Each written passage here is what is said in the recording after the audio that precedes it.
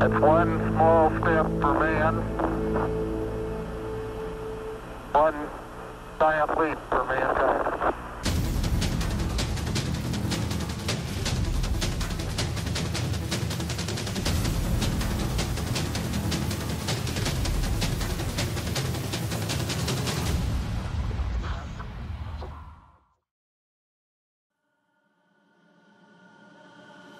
I'm Geoff Notkin. I'm perhaps best known as the television host of Meteorite Men, the adventure series, but my greatest of all loves is spaceflight.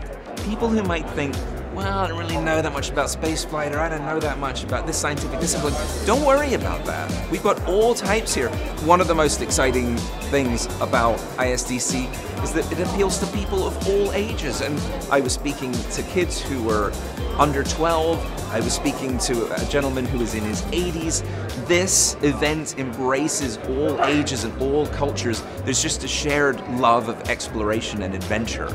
We've had so many astronauts and test pilots and engineers and adventurers of all sorts. I have the privilege of being the project manager for the Mars Curiosity rover.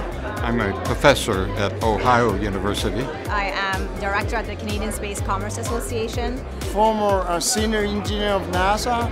I uh, was fortunate to be one of the very few women who experienced uh, going to International Space Station. It's quite an amazing experience to just be walking through the corridor and go, oh, there's Buzz Aldrin. Oh, there's Elon Musk.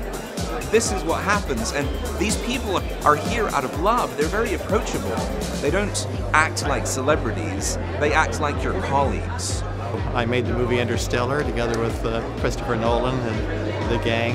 Anyone who gazes into the night sky in the evenings and wonders about the stars and the planets, or anyone who loves Star Trek, all of these types of people will be right at home here.